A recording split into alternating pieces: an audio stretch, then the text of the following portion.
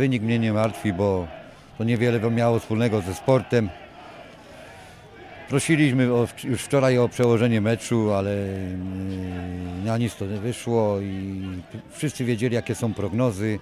Yy, Plandeka się sprawdza, jeśli tam gdzieś 2-3 godziny przestaje yy, padać. Dzisiaj plandeka została, zaczę, zaczęliśmy zdejmować plandekę o 18, akurat zaczął padać deszcz i gdzieś tam ten tor wyszedł jaki wyszedł.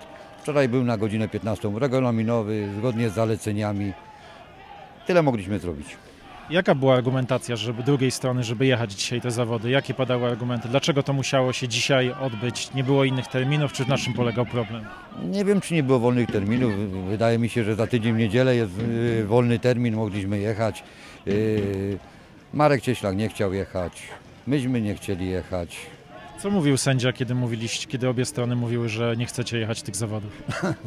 No, Ja, ja, ja nie jestem na, gdzieś tam na naradach, ale, ale można powiedzieć, że głosy były odnośnie jechania 2 do 2, tak, tak mogę powiedzieć. Co z Jakubem Pocztą? Bardzo groźnie wyglądał ten jego upadek w biegu młodzieżowym. Uraz kolana, nie jest tak źle. Ja- Jakub ma problemy z tym kolanem yy, dość długo, ale, ale wyglądało gorzej niż jest.